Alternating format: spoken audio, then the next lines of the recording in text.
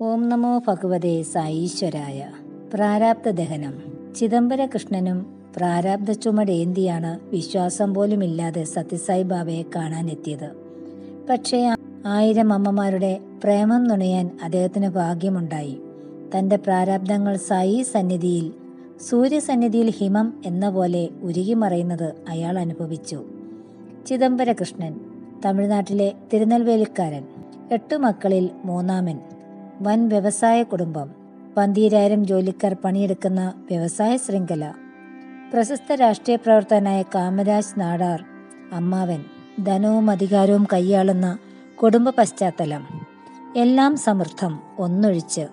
ജാതകപ്രകാരം ചിദംബരകൃഷ്ണന് ആയുസ് നന്നേ കുറവ്. ഇരുപത്തിനാലിൽ മരണം. കൃത്യമായി പറഞ്ഞാൽ ആയിരത്തി തൊള്ളായിരത്തി അറുപത് മാർച്ച് പതിനാലിനപ്പുറം ആയുസില്ല കടുകിട തെറ്റാത്ത പ്രവചനം നടത്തുന്ന ജോത്സ്യർ തന്നെയാണ് ഇതും പറഞ്ഞിട്ടുള്ളത്. ഇതിനിടയിൽ വിവാഹാലോചന വന്നു. ഒരു സഹോദരൻ അതിനെതിര് സ്വത്ത് നഷ്ടപ്പെടുമെന്ന ചിന്ത തന്നെ കാരണം. കുടുംബസുഹൃത്തായ ശ്രീകൃഷ്ണസ്വാമി മുതലിയാർ വിവരമറിഞ്ഞു. അദ്ദേഹമോ സത്യസായി ബാബയുടെ പരമഭക്തൻ. അദ്ദേഹം ആ യുവാവിനോട് ഉറപ്പായി പറഞ്ഞു. ബാബയ്ക്ക് നിന്നെ രക്ഷിക്കാനാകും. ബാബയ്ക്കേ കഴിയൂ. നീ സ്വാമിയെന്ന് കണ്ടാൽ മാത്രം മതി. അക്കാലങ്ങളിൽ ബാബയെ അത്ര കാര്യമായി ലോകം അറിഞ്ഞിട്ടില്ല. അറിഞ്ഞിട്ടുള്ളതോ മാജിക്കുകാരനെന്നും ചിദംബരകൃഷ്ണന് ബാബയെ കാണാൻ താല്പര്യമുണ്ടായില്ല പക്ഷേ ഇതിനിടയിൽ അവരുടെ താമസസ്ഥലത്തിനടുത്ത് ബാബ എത്തുന്ന വിവരം മുതലിയാർ അറിഞ്ഞു. അദ്ദേഹം വീണ്ടും നിർബന്ധിച്ചു. ഒടുവിൽ മുതലിയാർ തന്നെ മുൻകൈയെടുത്ത് ചിദംബരകൃഷ്ണനെ സായി സന്നിധിയിൽ എത്തിച്ചു. വൃദ്ധനായ ഒരു സന്യാസിയെ പ്രതീക്ഷിച്ചിരുന്ന ചിദംബരകൃഷ്ണൻ കണ്ടത് യുവാവായ മുടിക്കിരീടം ധരിച്ച സത്യസായി ബാബയെ. തൃപ്തി തോന്നിയില്ല പക്ഷേ അവഗണിക്കാനും പറ്റുന്നില്ല. ബാബ ചിദംബരകൃഷ്ണന്റെ കയ്യിൽ പിടിച്ച് വീടിനകത്തേക്ക് വലിച്ചുകൊണ്ടുപോയി. അവിടുന്ന് ആദ്യമേ അരുളിയ വാചകം നീ മരിക്കാൻ പോകുന്നില്ല നിന്നെ രക്ഷിക്കാനാണ് ഞാൻ വന്നിരിക്കുന്നത്.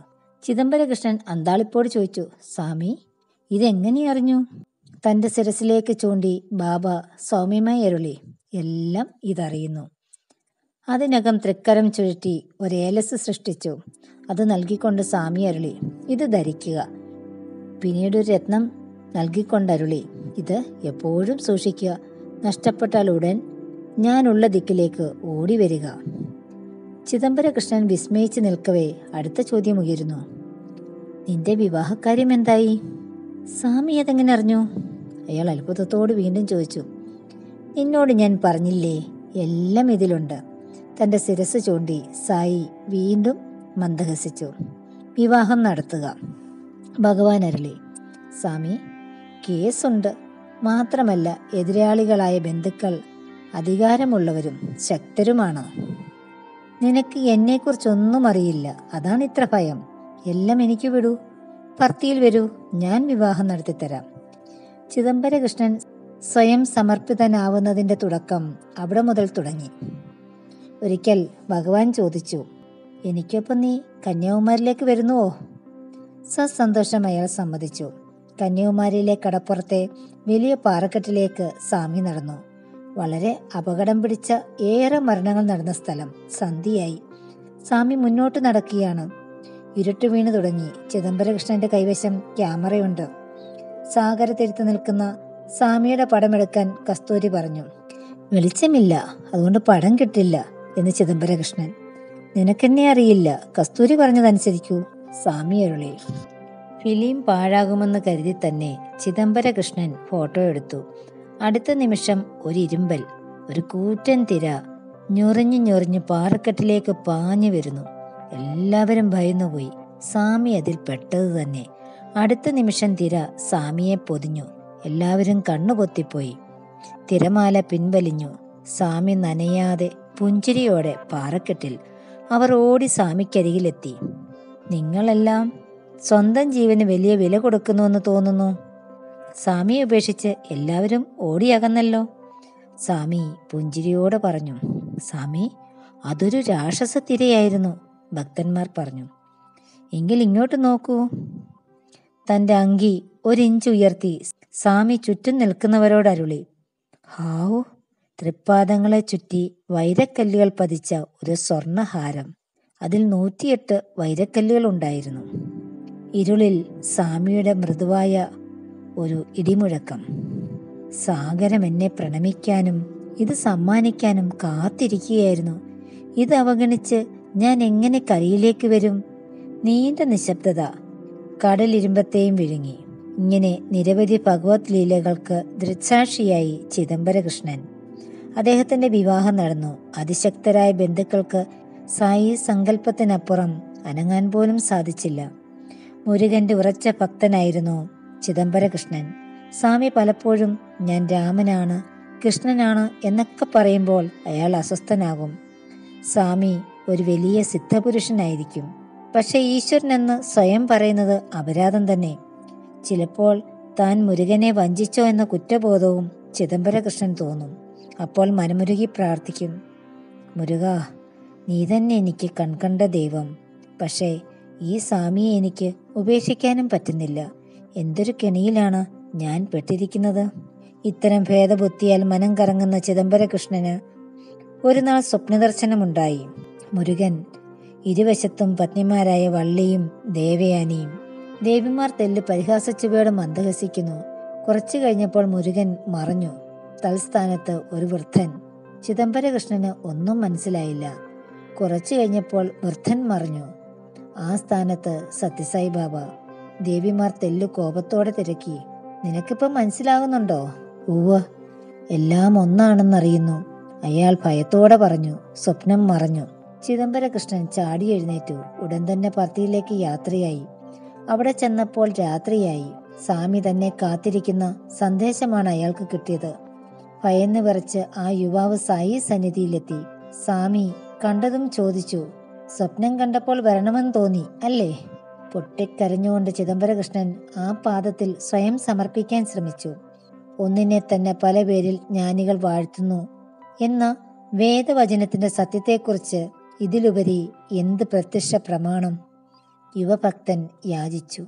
സ്വാമി മാപ്പ്. ഇനി അവിടുന്ന് മാത്രമേ എനിക്ക് ആശ്രയമുള്ളൂ. സ്വാമി അരുളി നിനക്ക് ഇഷ്ടമുള്ളിടത്ത് പോകാം ആരാധിക്കാം. പക്ഷേ നീ എവിടെ ചെന്നാലും അവിടെയെല്ലാം ഞാൻ ഉണ്ടായിരിക്കും. മറ്റൊന്ന് നീ എന്നെ തേടി വന്നതല്ല. ഞാൻ നിന്നെ എന്നിലേക്ക് ആകർഷിക്കുകയായിരുന്നു. നിന്നെ സംരക്ഷിക്കാനായി. ആരെ വേണമെങ്കിലും നീ ആരാധിച്ചുകൊള്ളൂ. സ്വാമിക്കതിൽ വിഷമമില്ല. എല്ലാം ഞാൻ തന്നെ. ചിദംബരകൃഷ്ണന് തൽക്കാലത്തേക്ക് ശാന്തിയായി. എത്രയൊക്കെ അനുഭവങ്ങൾ ഉണ്ടായാലും എന്ന മഹാസർപ്പം ജീവാത്മാവിനെ വലച്ചുകൊണ്ടിരിക്കും. ചിദംബരകൃഷ്ണനും അത് തന്നെ സംഭവിച്ചു. അപ്പോഴൊക്കെ സ്വാമി സഹായഹസ്തവുമായി ഓടിയെത്തി. ഒരിക്കൽ ഭഗവാനോടൊപ്പം ചിദംബരകൃഷ്ണൻ കാറിൽ. കാറിലുണ്ടായിരുന്ന ഒരു ഭക്തൻ സ്വാമിയോട് ചോദിച്ചു സ്വാമി ഒരു മൃഗങ്ങളെയും കൊല്ലരുതെന്ന് അവിടുന്ന് പറയുന്നു. ഒരു മൂർഖൻ കൊത്താൻ വരുന്നു എന്ന് കരുതൂ. അതിനെ കൊല്ലാമോ? അത് നിങ്ങളെ കൊത്തുമെന്ന് തോന്നുന്നുവെങ്കിൽ കൊല്ലുക. പക്ഷേ ആ മൂർഖനിലും സായി സാന്നിധ്യമുണ്ടെന്ന് നിങ്ങൾ ശരിക്കും വിശ്വസിക്കുന്നെങ്കിൽ അത് നിങ്ങളെ ഉപദ്രവിക്കില്ല. ഒരിക്കൽ ചിദംബരകൃഷ്ണനോട് സ്വാമി അരുളി നിന്നെ ഒരുത്തൻ കത്തികൊണ്ട് കുത്താൻ വരുന്നെന്ന് കരുതൂ. അതിന് കാരണം നിന്റെ കർമ്മഫലം. ശ്രമം കൊണ്ട് നിനക്കൊരു പക്ഷേ ആ ആക്രമണത്തിൽ നിന്നും രക്ഷപ്പെടാൻ കഴിഞ്ഞേക്കും. പക്ഷേ കർമ്മഫലത്തെ എക്കാലത്തും ഒഴിവാക്കാൻ സാധ്യമല്ല. ആക്രമിക്കാൻ വരുന്ന വ്യക്തിയിലും നിനക്ക് സ്വാമിയെ ദർശിക്കാൻ കഴിഞ്ഞാൽ അയാളെ വന്നിക്കാനായാൽ കർമ്മഫലം ഒഴിയും. ഈ ലോകം ഒരു നാടകം. കുത്താൻ വരുന്നതും കുത്തേൽക്കുന്നവനും രണ്ടും സ്വാമി തന്നെ. ഇത് തിരിച്ചറിഞ്ഞാൽ ലോകനാടകത്തിന്റെ രഹസ്യം വെളിപ്പെടും. കർമ്മവും കർമ്മഫലവും അപ്പോൾ അപ്രത്യക്ഷമാകും. ഭഗവാന്റെ ഈ അമൃതമൊഴികൾ ചിദംബരകൃഷ്ണൻ കേട്ടു. അതിന്റെ പൊരുൾ അപ്പോൾ പിടുത്തം കിട്ടിയില്ല. പക്ഷേ അതൊരിക്കൽ പ്രത്യക്ഷാനുഭവമായി. ആയിരത്തി തൊള്ളായിരത്തി അറുപത്തി ഒന്ന് ബിസിനസ് സംബന്ധമായി ചിദംബരകൃഷ്ണന്റെ സ്ഥാപനത്തിന് സിലോണുമായി ബന്ധമുണ്ട്. ചിദംബരകൃഷ്ണന്റെ മൂത്ത സഹോദരൻ പർത്തിയിലെത്തി സിലോൺ യാത്രയെക്കുറിച്ച് പറഞ്ഞു. സ്വാമി സസന്തോഷം അനുവാദം നൽകി. അദ്ദേഹം വീട്ടിലെത്തി. പിറ്റേ ദിവസം പുലർച്ചെ നാലരയ്ക്ക് ചിദംബരകൃഷ്ണനെ വിളിച്ച് ജ്യേഷ്ഠൻ പറഞ്ഞു ഞാൻ സിലോണിൽ പോകുന്നില്ല സ്വാമി പോകരുതെന്ന് പറഞ്ഞു. ചേട്ടനോട് സിലോണിൽ പോകാൻ ഇന്നലെ സ്വാമി നേരിട്ട് അനുമതി നൽകിയിരുന്നതല്ലേ? പിന്നെന്ത് സംഭവിച്ചു? ചിദംബരകൃഷ്ണൻ അതിശയത്തോട് ചോദിച്ചു ശരിയാണ് പക്ഷേ അതിരാവിലെ സ്വാമി എന്റെ മുറിയിൽ പ്രത്യക്ഷപ്പെട്ടു. യാത്ര ഒഴിവാക്കാൻ കൽപ്പിച്ചു. ഞാൻ പാദനമസ്കാരം എടുക്കാൻ തുടങ്ങിയപ്പോഴേക്കും സ്വാമി അപ്രത്യക്ഷനായി. ചേട്ടൻ പറഞ്ഞു അതൊരു സ്വപ്നമായിരിക്കും ചേട്ടാ. അല്ല ഞാൻ നേരിട്ട് കണ്ടതാ. ഞാൻ പോകില്ല. എന്തോ പ്രശ്നമുള്ളതുകൊണ്ടാണ് സ്വാമി പ്രത്യക്ഷനായി പറഞ്ഞത്. ശ്രീലങ്കൻ യാത്ര മുടങ്ങിയാൽ ബിസിനസ് കാര്യം തകരാറിലാവും. നിലനിൽപ്പിന്റെ പ്രശ്നമാണ്. എന്ത് ചെയ്യണമെന്ന് സ്വാമിയോട് നേരിട്ട് ചോദിക്കുക തന്നെ. ചിദംബരകൃഷ്ണൻ പർത്തിയിലെത്തി സ്വാമിയെ കണ്ടു വിവരമറിയിച്ചു. സ്വാമി അരുളി നിന്റെ സഹോദരൻ പോയാൽ ജീവനോട് തിരിച്ചു വരില്ല ഭഗവാൻ പറഞ്ഞു. പക്ഷേ സ്വാമി സ്വാമി തന്നെയല്ലേ? ഇന്നലെ അനുമതി കൊടുത്തത്? ഭക്തൻ സംശയം പ്രകടിപ്പിച്ചു. അതെ അത് സത്യം. അതിനുശേഷം സ്ഥിതിഗതികൾ മാറിയിരിക്കുന്നു. അന്താളിച്ചു നിൽക്കുന്ന ഭക്തനോട് സ്വാമി വിവരിച്ചു. ഇന്നലെ നിന്റെ ജ്യേഷ്ഠൻ ഇവിടെ നിന്നും പോയ ശേഷം സിലോണിൽ നിങ്ങളുടെ ഒരു തൊഴിലാളിയെ അവിടുത്തെ മാനേജർ പിരിച്ചുവിട്ടു. ആ തൊഴിലാളി മാനേജരെ ആക്രമിക്കാൻ മുതിർന്നു. അപ്പോൾ അയാൾ സ്വന്തം തടി രക്ഷിക്കാനായി നിങ്ങളുടെ സഹോദരൻ പറഞ്ഞിട്ടാണ് അത് ചെയ്തതെന്ന് പറഞ്ഞു. നിങ്ങളുടെ സഹോദരൻ സിലോണിലെത്തിയാൽ വധിക്കുമെന്ന് ആ തൊഴിലാളി പ്രതിജ്ഞ ചെയ്തിരിക്കുന്നു. അയാൾ സിലോൺകാരനാണ്. ബിസിനസ് രേഖകളുടെ കാര്യത്തിന് എന്ത് ചെയ്യണമെന്ന സംശയത്തിന് സ്വാമി ഉറപ്പു നൽകി. അത് സ്വാമി ശരിയാക്കിക്കൊള്ളാം. പക്ഷേ ചിദംബരകൃഷ്ണന് സംശയം സിലോണിലെ കാര്യം ഇവിടെ ഇരിക്കുന്ന സ്വാമി എങ്ങനെ ശരിയാക്കാൻ? പലവട്ടം ഈ സംശയം ചോദിച്ചപ്പോൾ സ്വാമി തിരിച്ചു ചോദിച്ചു സിലോണിൽ ബിസിനസ് കാര്യമല്ലാതെ മറ്റെന്തെങ്കിലും ആവശ്യം നിനക്കുണ്ടോ? ഓ സ്വാമി ഇന്ത്യൻ സ്ഥാനപതിയുടെ മകളുടെ വിവാഹത്തിന് ക്ഷണമുണ്ട്. എങ്കിൽ ചേട്ടന് പകരം നീ പോവുക സ്വാമി പറഞ്ഞു. പക്ഷേ സ്വാമി അയാൾ എന്നെ ഉപദ്രവിക്കില്ലേ? സ്വാമി പുഞ്ചിരിച്ചുകൊണ്ട് അരുളി. എന്റെ സംരക്ഷണയിലുള്ളവരെ ആർക്ക് ഉപദ്രവിക്കാനാവും? ഇത്രയും പറഞ്ഞ് വിഭൂതി സൃഷ്ടിച്ച് ചിദംബരകൃഷ്ണന്റെ വായിലിട്ട് കൊടുത്തു. എന്നിട്ട് പറഞ്ഞു ചെല്ലു ഭയക്കേണ്ട നിന്നെ ഞാൻ കാത്തുകൊള്ളാം. അങ്ങനെ ചിദംബരകൃഷ്ണൻ ജാഫ്നയിൽ വിമാനമിറങ്ങി. കമ്പനി മാനേജർ സ്വീകരിക്കാനെത്തി. അയാൾ ഉടൻ പറഞ്ഞു സർ കൊളംബോയിൽ പോകരുത്. പിരിച്ചുവിട്ട തൊഴിലാളി ജാഫർ അലി നിങ്ങളെ ആരെ കണ്ടാലും വധിക്കാൻ കാത്തിരിക്കുന്നു. പക്ഷേ പോകാതിരിക്കാൻ പറ്റില്ലല്ലോ. ചിദംബരകൃഷ്ണൻ കൊളംബോയിലെത്തി. അവരുടെ ഫ്ളാറ്റിൽ ചെന്ന് വിശ്രമിക്കാൻ കിടന്നു. പെട്ടെന്ന് തന്നെ നല്ല ഉറക്കവുമായി. വാതിലിൽ തുടരെ തുടരെ മുട്ടുന്ന ശബ്ദം കേട്ട് ചിദംബരകൃഷ്ണൻ എഴുന്നേറ്റു. വാതിൽ തുറന്നു. ജാഫർ അലി കൂടെ മൂന്നുപേർ അവർ തിക്കി തിരക്കി അകത്തു കയറി വാതിലടിച്ച് തഴുതിട്ടു. അലി ആക്രോശിച്ചു. എന്നെ പിരിച്ചു വിട്ടിട്ട് സുഖമായി കഴിയാമെന്ന് കരുതിയോ? ജ്യേഷ്ഠൻ വന്നില്ലെങ്കിൽ അനിയൻ. നിങ്ങളെ ഞാൻ കൊല്ലും. ഒരു സായിബാബയുടെ തണലിലോ? ഇത്ര ധൈര്യം? ചിദംബരകൃഷ്ണൻ വിറവ് കൊണ്ടു.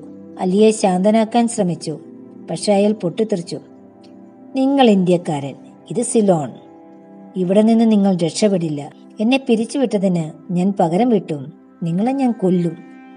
ചിദംബരകൃഷ്ണൻ പലതും സംസാരിക്കാൻ ശ്രമിച്ചു. സമയം പാഴാക്കണ്ട. അയാളെ കൊന്നിട്ട് നമുക്ക് പോകാം എന്ന് അലിയുടെ കൂട്ടാളി പറഞ്ഞു. മരണം സുനിശ്ചിതം എന്ന് ചിദംബരത്തിന് മനസ്സിലായി. സ്വാമിയെ ഓർത്തു. അനിവാര്യമായ തന്റെ പ്രാരാബ്ദം സ്വീകരിച്ചേ മതിയാവൂ എന്ന് മനസ്സിലായി. മനസ്സ് വിറപൂണ്ടു. അയാൾ അലിയെ നോക്കി. എനിക്ക് രണ്ട് മിനിറ്റ് തരുമോ? ഓ പ്രാർത്ഥിക്കാനല്ലേ. പ്രാർത്ഥിച്ചോ പ്രാർത്ഥിച്ചോ. സായിബാബയോട് തന്നെ പ്രാർത്ഥിച്ചോ? അവസാന പ്രാർത്ഥന. അലി മുരണ്ടു. ചിദംബരകൃഷ്ണൻ മിഴികളടച്ച് മൗനമായി കീണു. സ്വാമി ഇങ്ങനെയാണോ എന്റെ അന്ത്യം? എന്ത് തെറ്റിനാണ് ഞാൻ ശിക്ഷിക്കപ്പെടുന്നത്? ഈ വിധി സ്വീകരിക്കാൻ എനിക്ക് കരുത്ത് നൽകണമേ സാഈശ്വര സ്വാമിയോട് പ്രാർത്ഥിച്ചു നിൽക്കവേ. തന്റെ പാദങ്ങളിൽ നനവ് തന്റെ കണ്ണീർ വീണതായിരിക്കുമെന്ന് കരുതി ചിദംബരകൃഷ്ണൻ കണ്ണു തുറന്നു. കൊല്ലാൻ വന്ന അലി തന്റെ പാദങ്ങളിൽ വീണ് കിടന്ന് കരയുന്നു. അലി ഉറക്കെ പറയുന്നുണ്ടായിരുന്നു ഇത്രയും കാലം നിങ്ങൾ എനിക്ക് ജോലി തന്നു ശമ്പളം തന്നു മര്യാദയ്ക്ക് എന്നോട് പെരുമാറി. എന്നിട്ട് ഞാൻ നിങ്ങളെ കൊല്ലാൻ നോക്കി. ഹാവ് ഭയങ്കരം. എനിക്ക് എങ്ങനെ ഈ ദുശ്ചിന്ത വന്നു? എന്നെ തല്ലു അയാൾ ഉറക്കെ പറഞ്ഞു. കൂട്ടാളികളായി വന്ന ഗുണ്ടകൾ അമ്പരന്നുപോയി അവർ എന്തോ പിറുപിറുത്തുകൊണ്ട് പിന്തിരിഞ്ഞു. നിമിഷങ്ങൾക്കുള്ളിൽ അലിയിൽ മനപരിവർത്തനം വരുത്തിയ ഭഗവത് ലീലയോർത്ത് ചിദംബരകൃഷ്ണൻ സ്തബ്ധനായി. രണ്ട് നിമിഷം കൊണ്ട് അലിയെ മാനസാന്തരപ്പെടുത്തി ഈ വിധത്തിൽ എത്തിച്ചത് ബാബയല്ലാതെ ആര്? പിന്നീട് ഒൻപത് ദിവസം അലി തന്നെ ചിദംബരകൃഷ്ണന് അംഗരക്ഷകനായി സിലോണിൽ കൂട്ടു നടന്നു. ജോലിയെല്ലാം പൂർത്തിയാക്കി നാട്ടിലെത്തി. ദർശനത്തിന് വന്ന ചിദംബരകൃഷ്ണനോട് ഭഗവാൻ തിരക്കി. സിലോണിൽ എന്ത് സംഭവിച്ചു? ഭഗവാനെ തൊഴുകൈയോടെ ചിദംബരകൃഷ്ണൻ പറഞ്ഞു എനിക്കൊന്നും പറയാനില്ല. കൊല്ലാൻ വന്നവൻ കാവൽക്കാരന്. കുത്തനെയുള്ള മലമുകളിൽ കയറ്റി വക്കത്ത് നിർത്തിയിട്ട് സ്വാമി എന്നെ ഉപേക്ഷിച്ചു എന്ന് ഞാൻ വിചാരിച്ച ആ നിമിഷം പിന്നെ എന്നെ പിടിച്ചു വലിച്ചെടുത്തതുപോലെയായി. തിളക്കമാർന്ന മിഴികളോടെ വാത്സല്യപൂർവം ഭഗവാൻ ചോദിച്ചു സംരക്ഷിക്കാമെന്ന് ഞാൻ വാക്ക് തന്നിരിക്കെ നിന്നെ ഞാൻ ഉപേക്ഷിക്കുമെന്ന് കരുതിയോ? കാലം പിന്നെയും കഴിഞ്ഞു. ചിദംബരകൃഷ്ണന് കനത്ത സാമ്പത്തിക ക്ലേശമുണ്ടായി. നിത്യവൃത്തിക്ക് പോലും കഷ്ടപ്പാട്. അന്നത്തെ കാലത്ത് എഴുപത് കാറുകളിൽ പർത്തിയിൽ ചെന്ന് കല്യാണം നടത്തിയ അയാൾക്ക് ഇങ്ങനെയൊരു ഗതി. ക്ലേശങ്ങൾ സ്വാമിയിലുള്ള വിശ്വാസവും തകർത്തു തുടങ്ങി. ഒരു നാൾ സ്വാമി അദ്ദേഹത്തിന്റെ ഗ്രഹത്തിൽ ഷിർദി സ്വരൂപത്തിൽ പ്രത്യക്ഷനായി. ചിദംബരകൃഷ്ണൻ അത് അവഗണിച്ചു. അത് കൂസാതെ താൻ ആരെന്ന് വെളിപ്പെടുത്തിക്കൊണ്ട് സ്വാമി പറഞ്ഞു ഇരുപത്തിരണ്ട് വയസ്സുവരെ നിനക്ക് ആയുസ്സുണ്ടായിരുന്നുള്ളൂ. ഞാനത് നീട്ടിത്തന്നു. അടുത്ത ജന്മം നീ അനുഭവിക്കേണ്ട വിവരിക്കാനാവാത്ത ദാരിദ്ര്യവും ദുരിതവും ഇപ്പോൾ എന്റെ അനുഗ്രഹ ഛായയിൽ നീ അനുഭവിച്ച് തീർക്കട്ടെ എന്ന് ഞാൻ കരുതി. സാമ്പത്തിക ക്ലേശമുണ്ടെങ്കിലും നിന്റെ കാര്യങ്ങൾക്ക് തടസ്സമൊന്നും ഉണ്ടാകുന്നില്ലല്ലോ. പ്രഭുവിന്റെ ഈ ചോദ്യത്തിന് ഏങ്ങലടിച്ചുകൊണ്ടുള്ള പാദനമസ്കാരം മാത്രമായിരുന്നു ഭക്തന്റെ ഉത്തരം. ചിദംബരകൃഷ്ണന്റെ ജീവിതം പിന്നീടും ശാന്തമായി ഒഴുകിയില്ല. ഗുരുതരമായ രോഗങ്ങൾ പലതും പിടിപെട്ടു. ഒരിക്കൽ അപകടത്തിൽപ്പെട്ട് കാൽ മുറിക്കേണ്ട ഘട്ടം വരെ എത്തി. പ്ലാസ്റ്റർ ഇട്ട കാലുമായി ആശുപത്രിയിൽ നിന്നും രാത്രി ആരും കാണാതെ അദ്ദേഹം പർത്തിയിലേക്ക് പുറപ്പെട്ടു. നീരും വ്രണവും നിറഞ്ഞ കാലുമായി അയാൾ പർത്തിയിലെത്തി. പർത്തി ആകെ മാറിയിരിക്കുന്നു. വൻ ജനക്കൂട്ടം. വലിഞ്ഞിഴഞ്ഞു ചെന്ന് സ്വാമിയെ കണ്ടു. ഒരു നോട്ടം. അത്രമാത്രം. അതേ ലഭിച്ചുള്ളൂ. ദിവസങ്ങൾ പലത് കഴിഞ്ഞു. രോഗം ശമിക്കുന്നില്ല. സേവാദൾ അംഗങ്ങൾ ബലമായി ആശുപത്രിയിൽ കൊണ്ടുപോകാൻ ഒരുങ്ങി. നിങ്ങൾക്ക് ഈ അവസ്ഥയിൽ എന്തെങ്കിലും സംഭവിച്ചാൽ ആശ്രമത്തിനല്ലേ നാണംകേട്? ദേവി ഏത്? ആശുപത്രിയിൽ പോകുക. അല്ലെങ്കിൽ നാളെ ഞങ്ങൾ ബലമായി കൊണ്ടുപോകും അവർ പറഞ്ഞു. അന്ന് രാത്രി ചിദംബരകൃഷ്ണൻ ഒരു പ്രതിജ്ഞ എടുത്തു. സ്വാമി ഞാൻ സ്വാമിക്ക് ചീത്തപ്പേരുണ്ടാക്കില്ല. ഞാൻ എങ്ങനെയെങ്കിലും ചിത്രാവതി തീരം വരെ വലിഞ്ഞിഴഞ്ഞു പോകും. അവിടെ ഏതെങ്കിലും ഒഴിഞ്ഞ മൂലയിൽ ഭക്ഷണവും ജലവും ഉപേക്ഷിച്ച് ഞാൻ ജീവൻ വെടിയും. ആശുപത്രിയിൽ പോയി കാലുമുറിച്ച് എനിക്ക് ജീവിക്കണ്ട. ഈ നിശ്ചയത്തോടെ അദ്ദേഹം ഉറങ്ങാൻ കിടന്നു. ഉണർന്നത് രാവിലെ മൂന്നരയ്ക്ക്. ഭക്തന്മാർ ദർശനത്തിനുള്ള തിരക്കിൽ. കാലിൽ വേദന പതിവ് പോലെ തോന്നുന്നില്ല. ശ്രദ്ധിച്ചപ്പോൾ നീർവീക്കം പകുതിയോളം കുറഞ്ഞിരിക്കുന്നു. ഹാവ് ഭഗവാനെ. അവിടുന്ന് എന്റെ പ്രാർത്ഥന കേട്ടു. പിന്നീടുള്ള ദിവസങ്ങളിൽ രോഗം വളരെ വേഗം കുറഞ്ഞു വന്നു. സേവാദൾ അംഗങ്ങൾ അത്ഭുതപ്പെട്ടു. ഇത്രയും കാലം സ്വാമിയുടെ മഹിമ പലതും വായിച്ചറിഞ്ഞു. ഇപ്പോൾ നേരിട്ട് കണ്ടു. അവരിൽ പലരും പറഞ്ഞു. പിന്നീടുള്ള ജീവിതം ശാന്തമായി അദ്ദേഹം പർത്തിയിൽ സായി സന്നിധിയിൽ തന്റെ പ്രാരാബ്ധകാലം കഴിച്ചുകൂട്ടി. ആനന്ദത്തോടെ ആരോഗ്യത്തോടെ.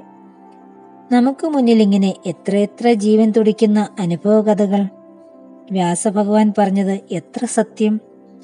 ആകാശത്തിലെ നക്ഷത്രങ്ങളും ഊഴിയിലെ പൂഴിയും എണ്ണാനാകും. പക്ഷേ ഭഗവത് മഹിമ എണ്ണിയൊടുക്കാൻ ആർക്കാകും? ഇക്കാര്യം ആധുനിക കാലത്ത് ശ്രീ കസ്തൂരി ഇങ്ങനെ എഴുതി.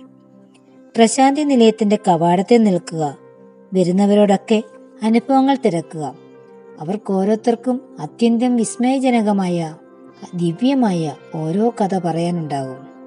ഭഗവത് കഥകൾ കേൾക്കുന്നതിൽ പരം ആനന്ദമില്ല.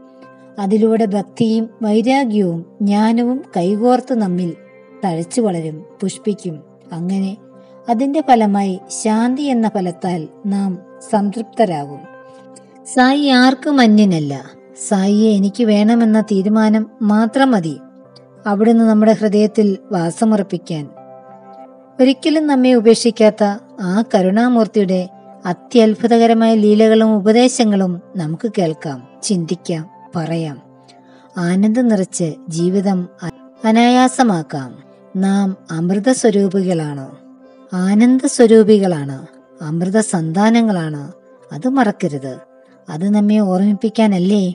തന്റെ അവതാരകാലം മുഴുവൻ സായി ദേവൻ നമ്മുടെ മുന്നിൽ നമുക്ക് വേണ്ടി ലീലകളാടിയത് ജയ് സായിരാം.